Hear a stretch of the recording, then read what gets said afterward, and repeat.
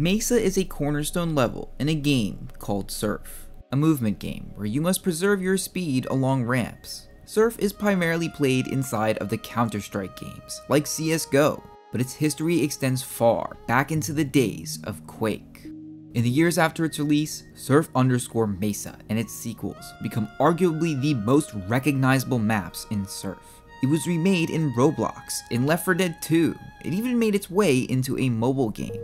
And most importantly, the map was easy, a favorite among new surfers, making it one of the most played and most completed levels. As a consequence, the public eye was particularly drawn to this map, making fast times and world records highly sought after.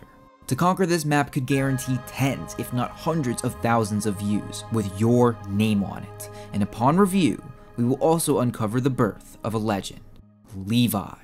But first, Surf. The mechanics of Surf are identical to that of Counter-Strike. To turn in the air, for example to the left, you must let go of W, press A and move your mouse to the left. This allows you to gradually change your trajectory and gain speed. In fact, in Surf, this mechanic is even more powerful, as the setting SV Air Accelerate is cranked from 12 to 150. This setting also allows you to surf. By pressing the directional key that smushes you against the ramp, right when the ramp is on the right, and left when on the left, you can stick to it. Then, by turning while on the ramp, surfers can affect their height. The characteristic flicks in Surf must come from left and right movements on ramps. You can't simply aim and fly up or down. At its core, Surf is an incredibly simple but devastatingly deep game, as while your range of movement is technically limited to one plane, beyond this you have absolute control and the precision required at the top level of surf is unparalleled. The best surfers must be perfectly flush with each ramp as they board. And as you'll see, this aspect of play has improved massively over the years. However, the first stop on our list is not a surf map. This is GM Arid Mesa by Arblarg. Inspired by Black Mesa, which was still in beta at the time, Arblarg created what was essentially a color palette for Mesa, What's underneath this barren site is immediately recognizable, the original aesthetic for Mesa. A few months later, Arblarg saw a preview video for another classic, Surf LT Omnific, and was inspired to create a map of their own. And on January 4th, 2014, Surf Mesa was released on Gmod, changing Arblarg's life forever. But these videos would not be possible without the sponsor, Leetify. Leetify tracks your true performance beyond what the base game captures. Normally, you finish the game, and all you get is your rank. Leetify automatically captures everything, from utility usage to entry frags, and turns it into a raw score. So when your friend tells you it's your fault, you can actually see what happened. Leetify rewards those who play smart and help their team win and it keeps track of your achievements, like games where you traded well or got nasty multi-kills. Pro users get a highlight system so you can capture and upload your best moments automatically, and 2D replays of the entire game. Click my link below to sign up for free. Upon release, Mesa was almost immediately well received, with what for the time was an outstanding aesthetic and highly accessible surf. The map was noob friendly, each ramp is placed logically in front of the other, so that as long as you kept your speed, you'd be fine. And the map was actually fun to play, resulting in it being nominated on servers quite often. And further adding to the mystique of the map, there was a secret easter egg that affected the whole lobby. By flying into this lava spout at the end to press this button, going underneath the start zone to press this button, flying above the map into a secret room using the secret combination and activating all the rocks and trees in a specific order, a song would play for everyone. Because of this, players have completed Mesa well over 100,000 times. This popularity led Arblarg, the mapper, to create several sequels in the same theme, Mesa Revo, Mesa Mine, and Mesa Aether, each of which respected in their own right, and eventually Surf Kitsune, which is by far one of the most popular and recognized maps ever made. The point is that Mesa was known it was closely associated with surf as a whole. This is the first world record on Mesa to be uploaded to YouTube. Yamaan on January 14th, 2014. Yamaan was a very well known surfer, at one point rank 1 in the world. There are some things you may notice about the run already, apart from the video quality. The surfer is smooth, they have slow and precise movements that control their speed.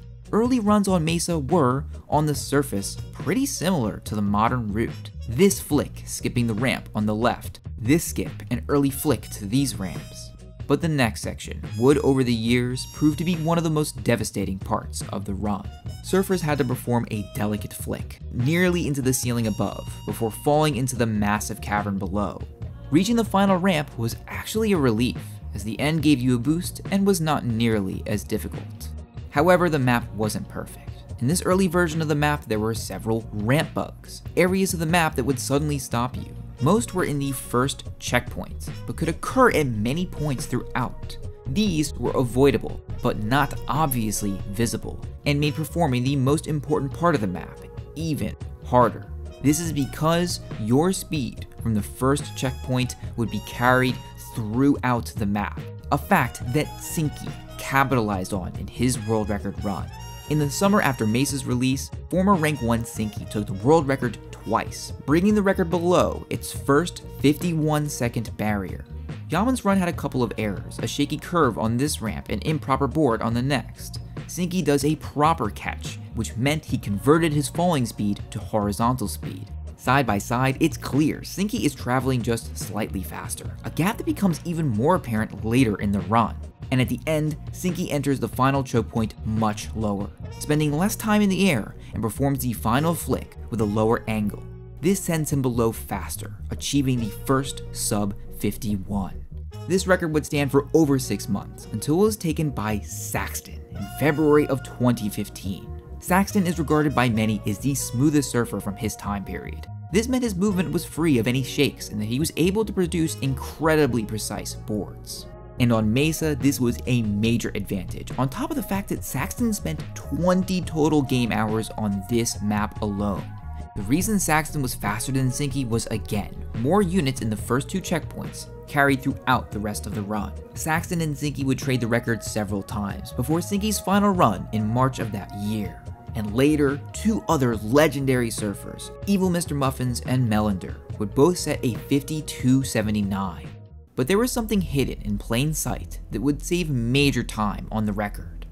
In the comment section of Saxton's last run, there were two comments calling into question his final ramp, where Saxon appears to ride it correctly. Most surf maps have a speed limit, generally 3500 units per second. If you try to go higher than 3500, your speed will stay the same. So, you have a choice. Go all the way down to the bottom of the ramp, or stay high.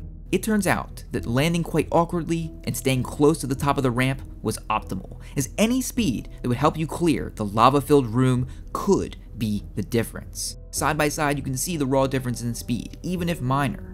But it turns out that this strategy was known for years. At the very end, a high-ranking surfer comments on Sinky's low board.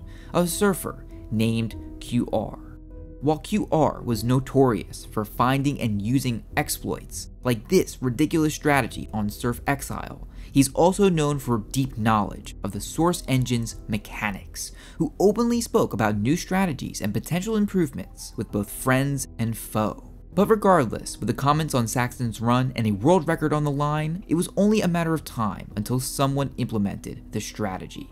On November 16, 2015, Beetle set his first world record on Mesa, beginning a four-year span of dominance on the map. Beetle's first run had several minor improvements. At the first drop, Beetle is one of the first to properly airstrafe. This is a technique that allows you to gain speed by turning in the air.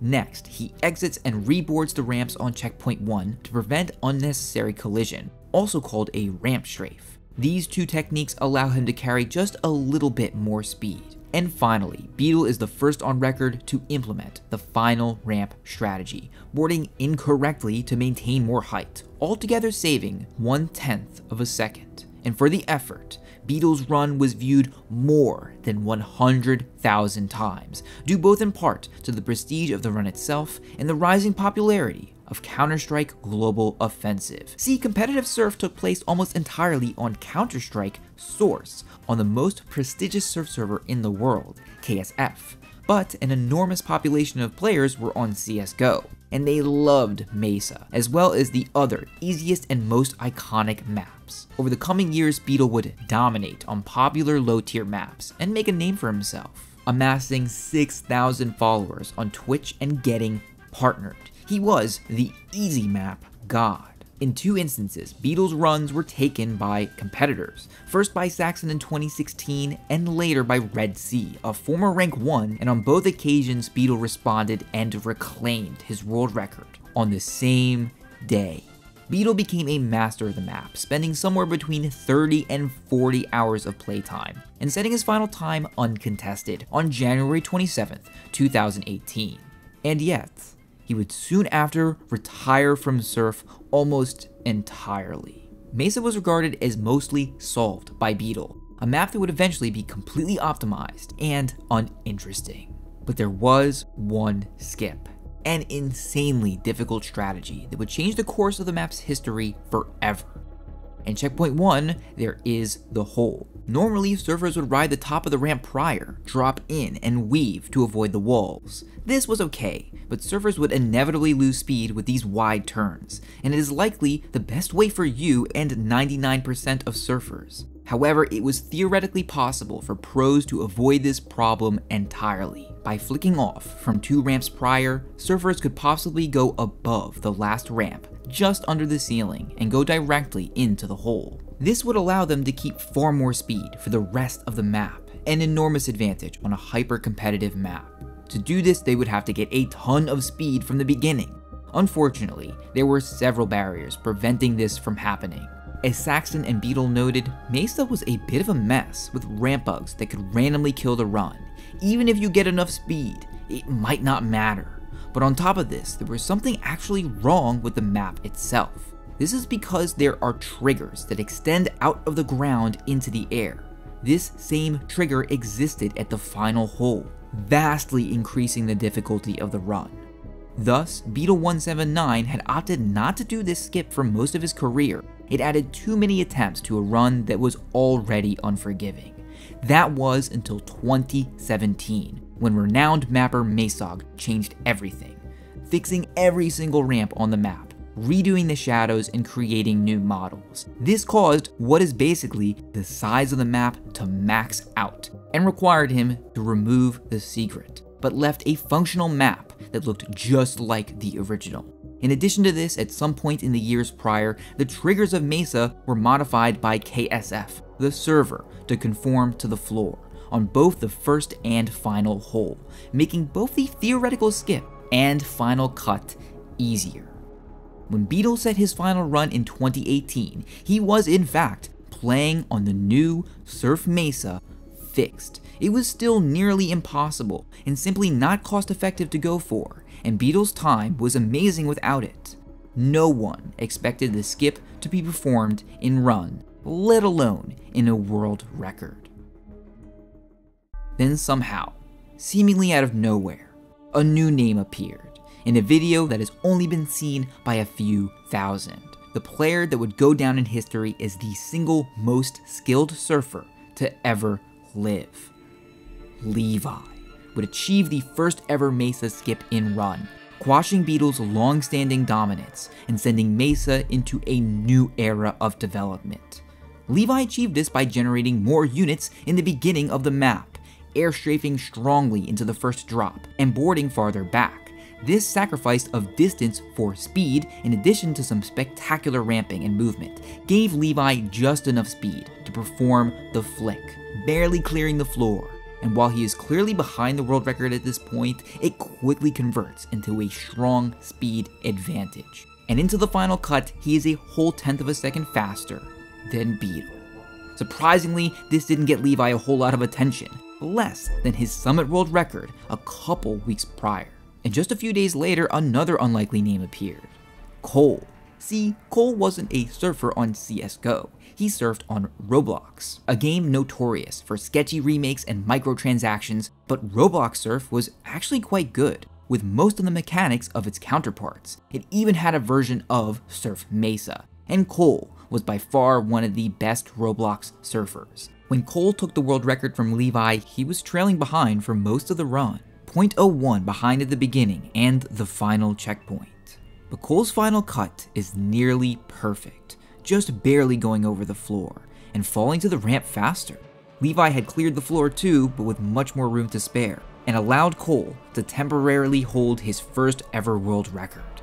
According to Cole, learning the skip was by far the hardest part of the map. He and Levi, two relatively new world record holders, were the only ones in the world to have ever done it. Yet, just hours later, Levi reclaims the record from Cole, who then takes it back on the same day. The world record for Mesa had been broken more times in two days than it had been in years. This was the beginning of a battle between Levi, Cole, and another surfer that would last for two years. On the same day as Cole's retake, KSF Records uploaded a new record by Crashfort. Crashfort was an expert known for finding new routes, but some contested the legitimacy of Crash's record because it was completed on a different game entirely. Crashfort played the map on Momentum Mod, which was a one-to-one recreation of Surf's physics, and is currently being tested for release in the near future. We even have Crashfort's original footage to see the units. At the skip ramp, Crash had 2,305 units, flicking correctly and being the third ever to perform the skip in Run. However, there was a real issue. The end zone was pushed forward on Momentum Mod, making it just slightly longer to reach on Counter-Strike but neither Crashfort nor KSF claimed the record was a true world record. It was mostly uploaded as a joke and a showcase of Momentum Mod's potential. And so, Cole's 4939 would stand. It's in the next month that our final challenger appeared, the third highest ranked surfer in the world, and to some, the most well-rounded surfer of all time. Rulldar had a dream. He was going to set the first sub 49 second run on Mesa. This would have been an unbelievable goal, almost half a second needed to lower the record this much. And on June 22, 2019, Rulldar took the first step, tying Cole's time. Rulldar has an incredible number of units into the skip, more than Crashfort before and after. And while he's behind now, he's able to creep ahead later, performing very well in the middle section of the map, less optimized at this point. Combined with a very early flick on the end cut, Rulldar shaves off 0.04.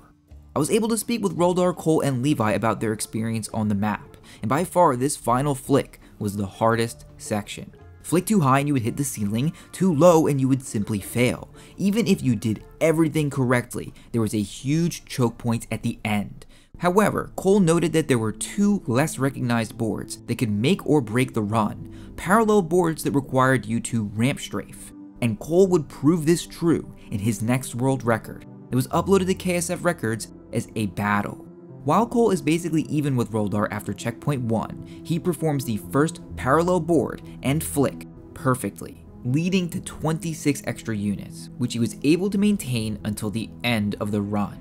If you're having trouble telling why Cole's run was faster, it's not your fault. The advantages on this map would come down to very minor improvements in air strafing and boarding. In fact, in Rulldar's final world record on the map, he would take the record by just one hundredth of a second. But unfortunately, Cole would do something that would end Rulldar's career on the map forever. Cole beat the record three times in a row, the final of which would be seen by 450,000 people, making it one of the most viewed surf runs of all time. He was simply able to generate way more speed in the first checkpoint, 40 more than Rulldar's final run.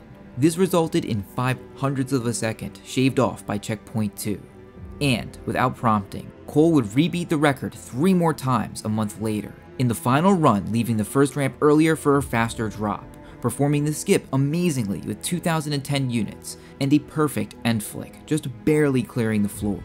This saved 0.1 overall, leaving the record just shy of the 48 second barrier. In total, Cole would spend 6 days of playtime on this map alone, over 150 hours. Cole, through pure determination, had etched his name permanently into surf history. Rulldar and Cole spoke fondly of their rivalry, both tough competitors that respected each other. Rulldar cared less about beating Cole and more about achieving his dream, the first 49 second run. But Cole was simply too strong, and after taking his own record five times, Rulldar retired from the map. And then Levi returned. See, in the meantime, Levi had established a huge name for himself. In 2020, he won a tournament called Surfs Upside Down, earning a sizable prize. He used the prize money to buy a PC, as it turns out that he had been surfing on a low budget laptop for his entire career. And with this newfound advantage, he strived for a new peak. At the end of the year, KSF creates a Best World Records of the Year video. In 2020, the community voted for the 15 best world records, and Levi wanted all of them. Each one of these panels is a world record that Levi set in the weeks after getting his new PC. After achieving a total of 9 world records that made it into the top 15, already the majority, Levi tried to sneak in one more entry. On January 2nd, 2021, before the voting had finished, he achieved a historic milestone for the entire game mode. Levi was able to break the first sub 49 barrier on Mesa of 48.98. He did this in part with an entirely different skip strategy, riding the ramp before for longer and ramp strafing off. This left him higher on the ramp and with extra units. Shortly after, he jets into the first parallel ramp board and leaves with a record 3070 units, saving 0.05 in that section alone and because of the extra units, he can get to the next ramps faster, and with some amazing movement around the rocks, saves a whole tenth of a second. And while Cole would, just 8 days after, also achieve a sub 49 second run, his final world record on the map, Levi retook again on June 30th, 2021, the last run in almost two years, riding higher on the first ramp and leaving earlier, with an altogether slower run for the rest. Levi and Cole also had an amicable rivalry, both believing the map's record could go lower, and interested in the exposure it could provide to their brands. Levi also held Beetle's final runs in high regard, as they were done without the skip and on an older version of the map. Mesa was the window where the rest of the world saw our game, getting a mere glimpse of what was possible. Thank you to Arblarg, Beetle Cole, Crash for Gebb, Levi, Rulldar, Saxton, and Yamaan for making this video possible. To the cast who you've been watching this entire time, we film every video at my Twitch channel, and all those who gave critical input. Please like it if you liked it and subscribe for more surf content. And if you love this, you're gonna love my previous surf history video. Thank you so much for watching, and good luck sliding those triangles.